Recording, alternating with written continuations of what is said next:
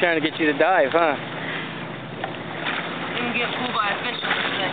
Yeah, there you go. That'd be cool.